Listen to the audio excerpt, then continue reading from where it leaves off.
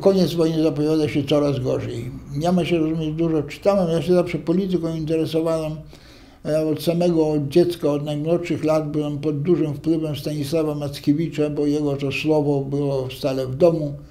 No i, e, i to było bardzo, na początku 1944 roku, po konferencji teherańskiej, e, to myślę, że była wszystko wielka tajemnica, co tam się działo, ale wi wiadomo było, że była konferencja teherańska.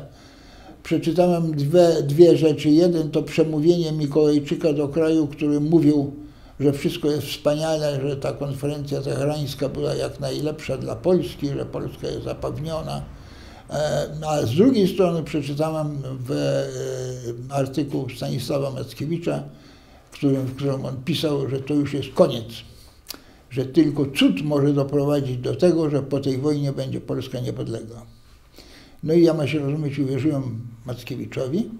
I dzięki temu, e, a większość Polaków wierzyła propagandzie, że tak powiem, rządowej, państwowej, polskiej, no i e, dla większości Polaków, którzy dla wszystkich żołnierzy, to był ogromny szok, to była Jalta, bo dopiero dowiedzieli się o tym, jakie są zamiary e, możnych tego świata, to znaczy Ameryki Wielkiej Brytanii, dopiero się dowiedzieli w lutym 1945 roku.